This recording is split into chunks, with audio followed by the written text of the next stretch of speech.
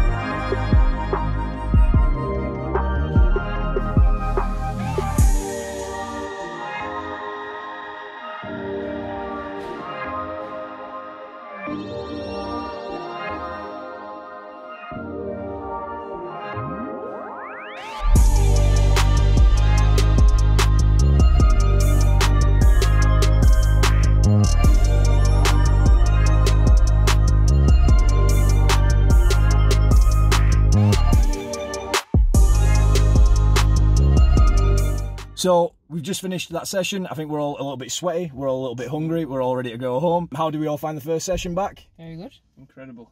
Yeah, no. Good. I think we're all sore um, and we'll see how we're feeling tomorrow. This is the day after our first wrestling session back, and I won't lie, I woke up this morning in bits. My lower back feels incredibly heavy, my neck feels incredibly heavy. Not really one for headaches, but I definitely feel like I've got a bit of a headache. Um, I had a nice warm shower earlier on. So that was that was nice to actually like release some tension through that. So yeah, I mean, it was it was a really good session. I really enjoyed it. It was good to get back in the ring again. And one thing that like I will pick up on with that is that we went to wrestling training to wrestle, to hit drills, to hit moves, to do a match. That's the whole reason of wrestling training, and that's where wrestling training differs from gym training. And yes, we could have put ourselves through like a card workout, but then I could do that at home. But I can't get into a ring and run the ropes at home. So we need this difference between what our gym sessions are and then what our wrestling sessions are. And once we get back into normal again, those wrestling sessions will differ. But then you also need to ask yourself if you go into a wrestling session and they're just blasting you, why are they blasting you? Because really, should you not just be able to do that at home? And also, are you taking the onus to do that at home? That's a little side point out of it. For me, I really enjoyed being back in the ring again. Felt good.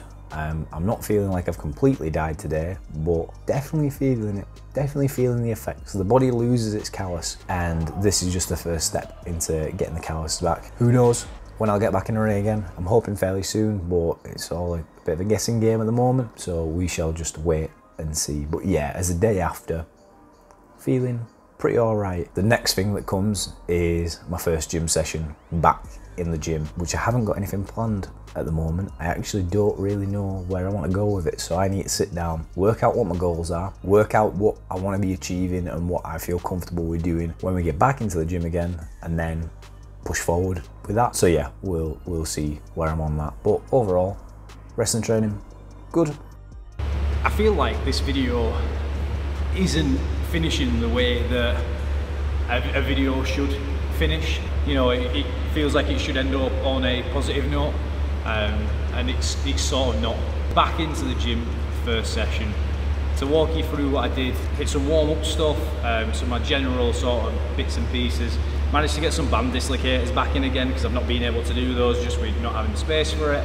And then I did a bit of activation stuff with med ball. So that was a med ball good morning into some med ball jumps into some med ball passes seven kilo ball to get a hip hinge in, to get some jumps in, and to get some throws in, just to pump the body a little bit and just to get some blood flowing through. So like one of the down points for the session, I guess you can call it, is that the pre-workout that I bought is rubbish. Uh, USN B4 or something like that has a horrendous like a horrendous cherry like after bitter taste to it that just isn't isn't particularly good. One of the things that we probably need to take into consideration when it comes to the gym is the environment that we're in. Um, one, how you're reflecting on the environment, and then two, uh, what the environment does to you. Because I'm conscious about what other people are doing a lot, I particularly won't see the people that are sanitising stuff, but I will see the people that aren't sanitising stuff. And at the moment where we're being asked to just wipe down equipment, the fact that people aren't on day three being back in the gyms again is just it shows what sort of person you are. So if you're watching this video please wipe your stuff down. It's really not hard. That's your rest and recovery time really between two exercises. There is nothing that means that you have to go from one exercise straight into the other exercise to touch on programming uh, very much hypertrophy session leg based i hit some dumbbell goblet squats um, worked out well. I hit a warm-up set and then I did um, 35 kg for four sets of eight reps. Pretty okay, feeling all right. I just wanted to get that squat pattern in with a slightly heavier load than what I've been using.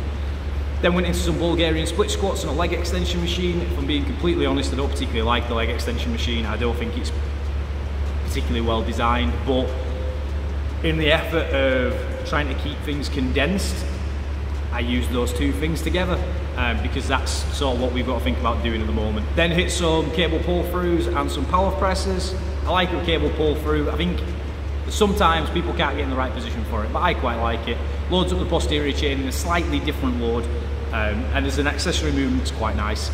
And then hit some yoga ball planks because my core work has been particularly lacking at home I kept it quick because I've got things to do and if anything I'm, I'm running over a little bit now doing this video. There's some changes coming up or at least I'm expecting there to be some changes more to do with the environment um, in, and how I work out best. But overall I do feel like the difference between my wrestling session my gym session has been two different ends of the scale in terms of my wrestling stuff. Really enjoyed it, came away from that really positive, really buzzing. And whether that's just I don't put as much value into the gym, whether that's a case of I've not programmed how I would get excited to get programmed about. That's not a sentence. Yeah, I just feel like maybe it is just a case of me being too aware of what's going on around me. So to round this out as a question for you, how have you found your first sessions back in? Were you overjoyed to get back in again? Were you a little bit like me where it was a bit of a almost a bit of a somber moment. Uh, let me know in the comments below. If you haven't already subscribed to the channel because it massively helps, you can hit me up on Instagram at Lazarus underscore PT and I will see you next time.